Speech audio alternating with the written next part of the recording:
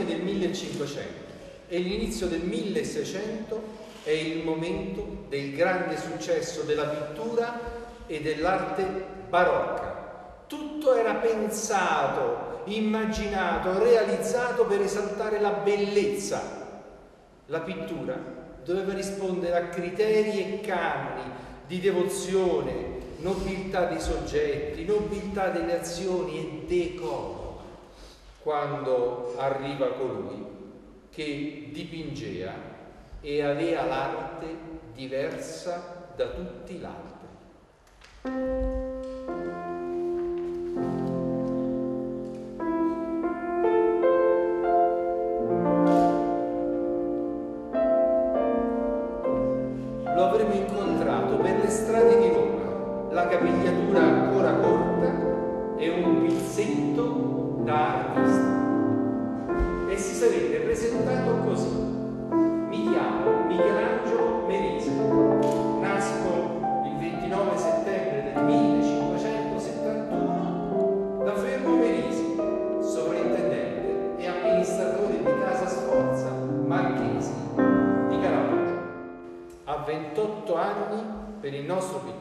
Sembra essere arrivata l'occasione della vita, ben tre quadri, e non se la vuole lasciare scappare.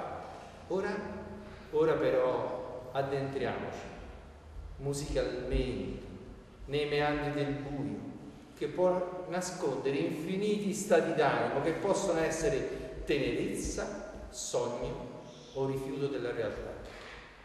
Ascoltiamo musicalmente le atmosfere della notte, un notturno, il numero uno dell'opera 55 di Chopin, che fa da preludio alla luce, quella luce che sarà la firma e la rivoluzione pittorica del nostro protagonista.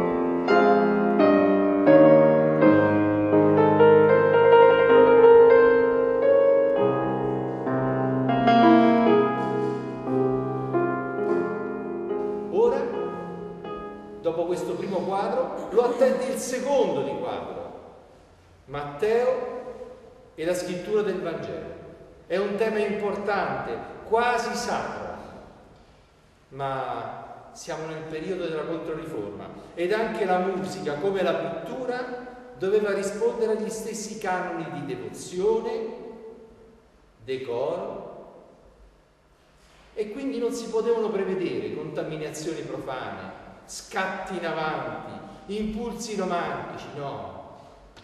Cerchiamo, proviamo a varcare questa soglia, aiutandoci con la musica, quella di Bach e di questo preludio e fuga numero due dal primo libro del clavicembalo ben temperato.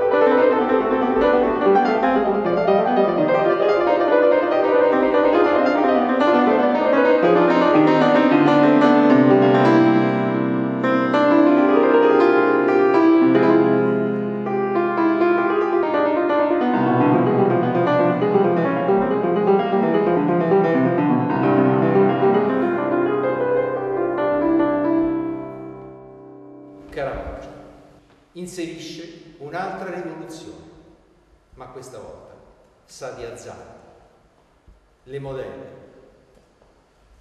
Ma il carattere del pittore è quello che. Gli altri pittori dipingevano la Madonna secondo tutti i canoni dell'epoca, il quadro di sinistra. Devozione, nobiltà, decoro, bella ma non appariscente, contenta ma non raggiante, mai sopra le righe. Questo era il modo di. Caravaggio invece si lascia guidare da un altro parametro, il quadro di destra, la bellezza. E utilizzerà delle avvenenti modelle e spesso, molto spesso, le modelle erano delle prostitute, come Lena, la splendida Lena, la seducente Lena, di cui si era perdutamente innamorato e sarà un altro scandalo. thank you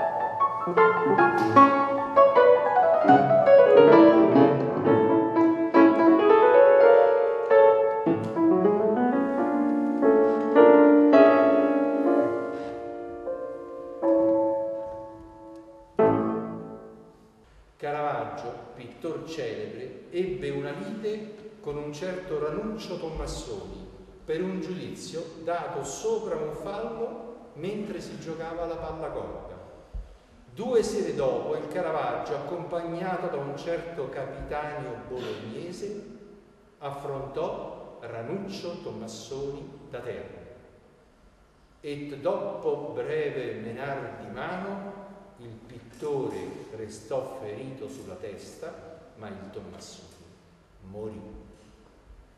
Caravaggio viene incolpato di quella uccisione, equivale ad una condanna a morte, deve fuggire da Roma, non ci tornerà mai più.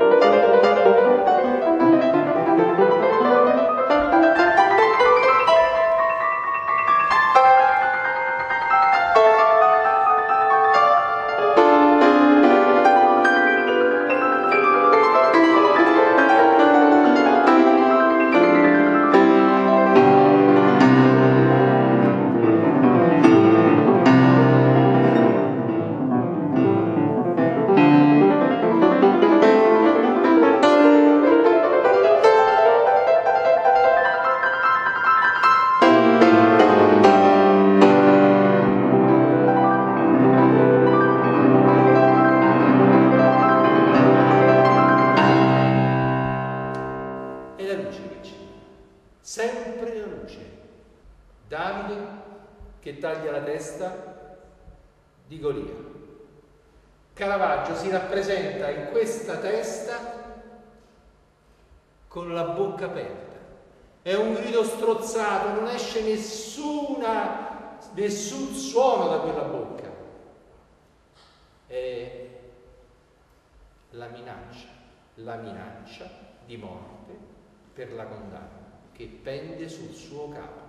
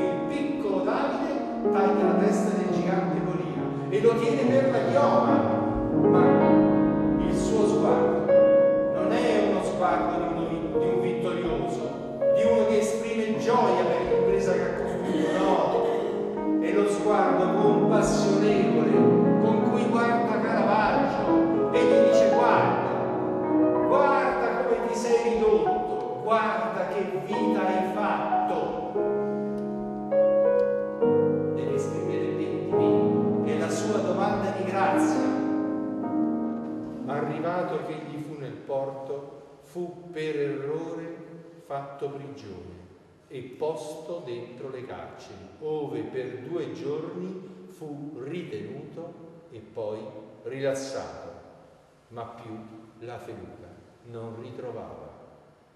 Sì, che postosi in furia, come disperato, andava per la spiaggia sotto la sferza del solleone a vedere se poteva in mare avvistare il vascello che le sue robe portava. Ultimamente, arrivato in un luogo della spiaggia, misesi in letto con febbre maligna e senza aiuto umano. Dopo pochi giorni morì malamente, così come malamente aveva vissuto.